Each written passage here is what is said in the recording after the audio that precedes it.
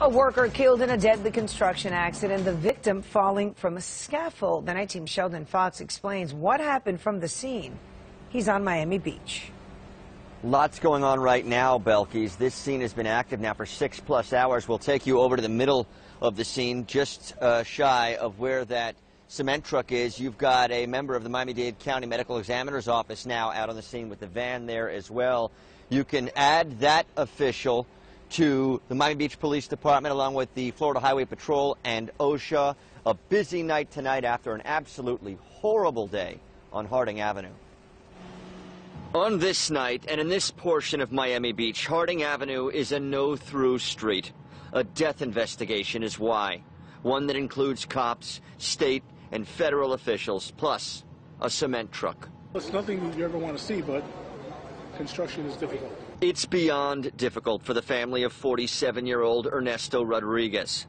He fell about four stories from this construction platform at an apartment building just north of 80th Street in the North Beach section of Miami Beach. Relatives rushed to the scene where they got the gut-wrenching news from that victim's coworker. I was in my bike. While on his bicycle, 13-year-old Augustine Molina said he heard someone yelling, stop, stop, then saw the victim on the ground bleeding as crying coworkers ran over.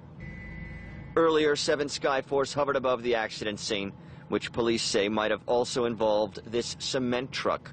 Our investigation thus far has revealed that apparently a cement truck that was underneath part of the construction site as well apparently hit some sort of cabling that was holding that platform up in the air. We're just initiating the investigation. OSHA and the Florida Highway Patrol joined beach cops in trying to figure out the details.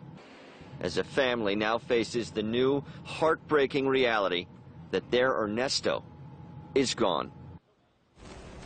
Southbound, it's the only way to go if you're traveling Harding Avenue, but you can't travel beyond about 81st Street. You're going to have to take Dickens Avenue instead to go south through this portion of Miami Beach. The other thing we wanted to tell you is that the Miami Beach Police Department says that no charges at this time are being filed. They're calling this a tragic accident. We're live tonight in Miami Beach. Sheldon Fox, 7 News Night Team.